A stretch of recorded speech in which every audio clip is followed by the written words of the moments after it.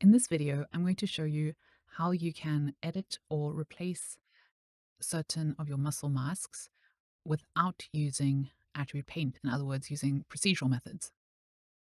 So if we look at the tendon mask on the muscles created by the muscle properties node, we'll see that for a lot of them, it looks pretty good.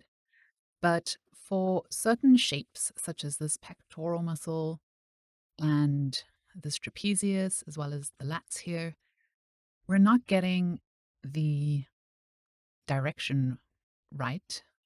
Even if we edit the radius, we're not really getting it to lie in the right place. We want it to be down the center line, for instance, right?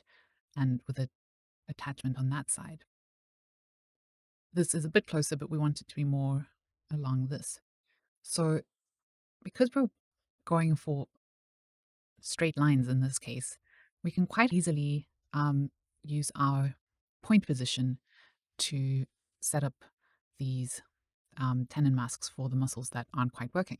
And one of the reasons that it's very useful to do this procedurally instead of with the muscle paint is even though it's completely valid to use the muscle paint, remember that there's always the risk with the muscle paint that if you get a model change or if you change your mesh resolution, you're going to end up losing what you've painted.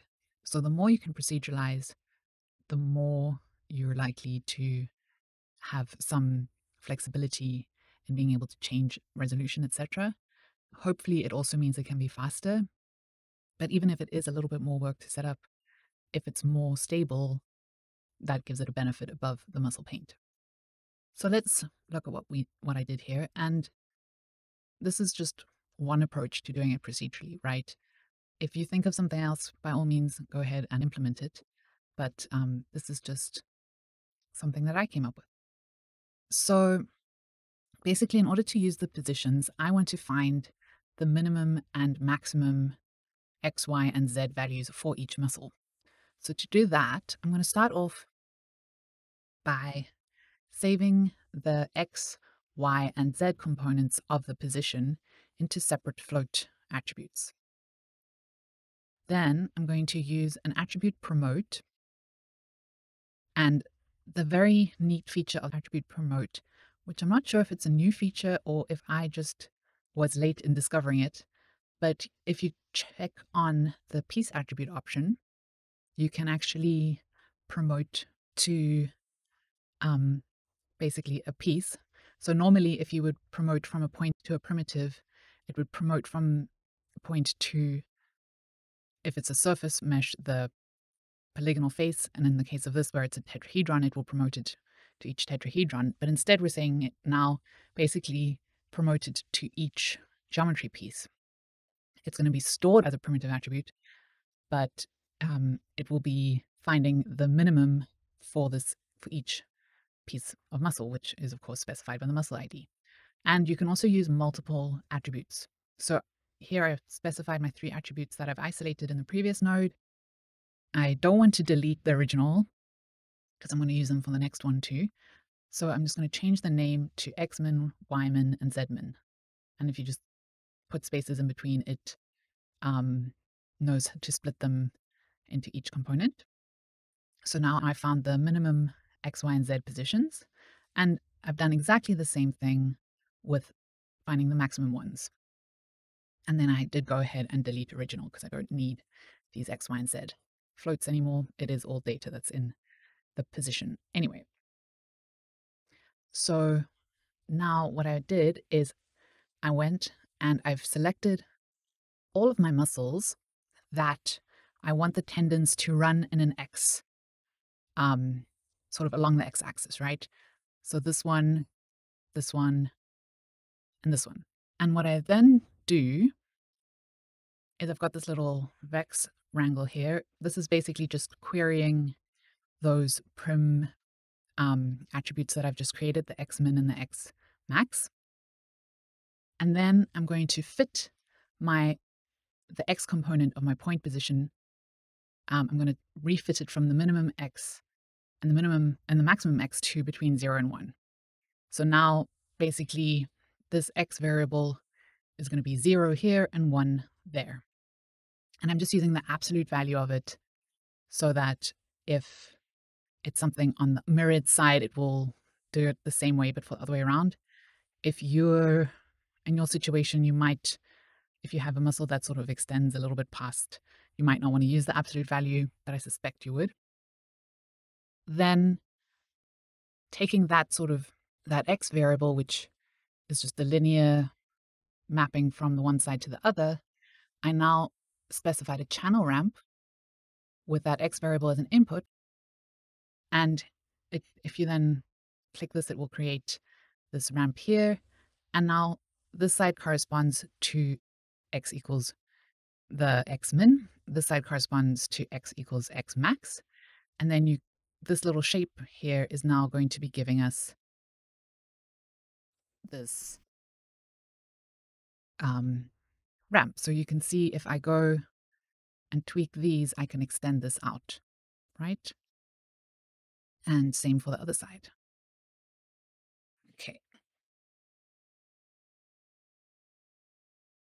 So now that is for the X direction. What I next did was I did the same thing, but for this, I only wanted to do it on the one side. I was happy with the the tendon mask on the side furthest away from the center, but these muscles on on closer to the center line, I wanted them to follow the X position. So I specified, I selected these ones and some others that I wanted to do the same for. It's exactly the same code. And then it sets it. Now, I didn't finish these last two lines. Basically, here I just, this um, line here is saying save this mask that I've cre- mask variable that I've created into the tendon mask attribute if it is essentially greater than the tendon mask that already exists. So this is a way as to basically save to have it as a layer over what you already have. Okay. So for instance, if we look at the trapezius here, and the trapezius was set here, this, before we set it, that's what the tendon mask looked like. And now this is over. And if I, let's say I just set this to zero. Oops, that was the wrong way around. I actually want to do it on the side. Now it's going to replace it with this mask. So if you want to completely remove the incoming tendon mask, you would, it's probably simpler to just set this to mask without the max, like that. But if you want to have it as a layer over it, you would want to use this.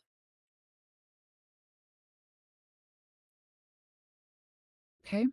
If you create an integer attribute and you prefix it with group underscore, then instead of creating an attribute, it's actually going to create a group um, with this name. So if you look here, there is a group created called procedural tendon mask. There isn't an extra attribute created. So what I'm doing is all the points that I've edited, I'm saving into this procedural tendon mask so that I can access them later. So I do it in this one, and I've done the same in this one and the same here. And I've just grouped them all into the same group. Um, I'll show you what I use that for later. Um, so I've shown for the X direction. Now for, in my case, I only needed it for this muscle here, but perhaps in your case, you have other muscles. In theory, I could have used it for these abs too, but the default settings was already worked pretty well for that. So I only did it for the sternocleidomastoid. But now you'll see that it nicely follows these edges because the edges are um, basically this runs in the y direction. So I've just replaced everywhere where I used x before, I've replaced with y in this case. Otherwise, it's the same. I use the same ramp even um, just to get that effect. And I haven't used the z direction because I haven't got any muscles that are in the z direction. But if you have a muscle that's in the z direction, you can go ahead and duplicate one of these and change it to z. So that's why I've um, promoted Z here too, just in case. And I also just wanted to show that if you go ahead and you say you've created you've grouped together a bunch of muscles and set it, and then you decide, oh, actually, just for that one muscle, I'm not quite happy. I just want to tweak it a little bit. What you can do is you can use an attribute remap and specify just the muscle you want. And make sure you set your group type to primitives, specify your tendon mask. And in this case, I did it for this one. But if you tweak your ramp, you can now tweak the fall off. And now remember, you're not going to want the same type of ramp shape as you had here because you've already set this.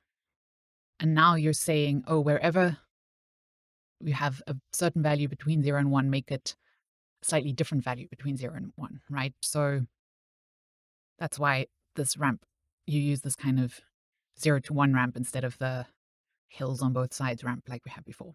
So let's say we want something like that. And then here, what I've done is I've just gone and taken the procedural tendon mask point group that I had before and promoted it to a primitive group. Um, it just makes it easier for later on. I'll even jump ahead to that. Basically, if you remember from um, the main video series, I had this little attribute remap node where I created the muscle end mask from the tendon mask, right? This again is a procedural creation of a mask. Um, and what I did was I specified certain muscles for it. What I've done now is I've just added this group procedural tendon mask to the beginning. Um, and because all of these are already a primitive group, that's why I had to promote it to a primitive group here. And it's also just uses less memory to store things on primitives instead of points. Um, so now if we view the muscle end mask instead, we can see that that is now we're using all the same work we did over there to procedurally generate the tendon mask to procedurally generate the end mask. So basically, that's a way that you can hopefully pretty easily create procedural masks for your both your tendon mask and your muscle end mask. Then let's talk about the glue mask. So often um, a place where you want to glue your muscles together is down the central lines, right? So this is an area where you don't want the muscles to really um, separate and move. So we want it there and we want it down here. So what I've used in this case, and let's just display it. There we go. It's a very similar concept to what I have before in using the P the X component of the position um, with the ramp and a fit. The only thing is in this case, I haven't gone and done a min and max per muscle because in this case, I really just want the points really close to the origin, or at least not the origin, but this central axis. So the X origin, so to speak. So um, this here you can use to control the fall off um, and I've just said all the muscle IDs except those starting with C because I don't want this to be on the these central muscles, right? And right now this is going to override any incoming muscle glue you might have, although remember muscle glue isn't created by default. So in this case, I still have my muscle to muscle glue specified um, in the muscle paint afterwards. So it's just using that as a starting value and painting over the top of that. Um, if you wanted to, if you had it already before, you could use a similar thing to this, except just use um, muscle glue instead. Okay, great. So those are some ideas for how you can procedurally generate these masks to save you both the time of painting as well as the risk of losing painted work.